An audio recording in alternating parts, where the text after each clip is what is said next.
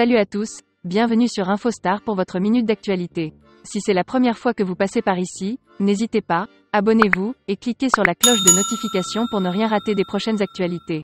Boba termine Tony Yoka. C'est ça de se faire la main sur des garagistes. Boba s'en prend à Tony Yoka après sa défaite contre Martin Bacol. Rappeur, acteur, politique, sportif, Boba n'évite personne quand il s'agit de clasher et prend même un malin plaisir à le faire. Après la défaite de Tony Yoka face à Martin Bacol ce samedi 14 mai, le DUC n'a pas manqué de tacler le boxeur français.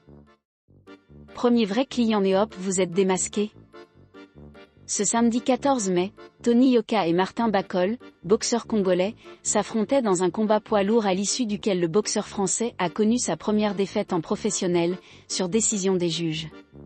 Aujourd'hui Martin était le plus fort sur le ring, je pense que tout le monde a pu le voir. Félicitations à lui. Il est temps de retourner travailler, peut-être de changer certaines choses, a-t-il déclaré à la fin de la soirée. Une défaite amère pour le principal concerné mais qui en réjouit d'autres, notamment B2O qui n'a pas manqué de saisir l'occasion pour s'en moquer.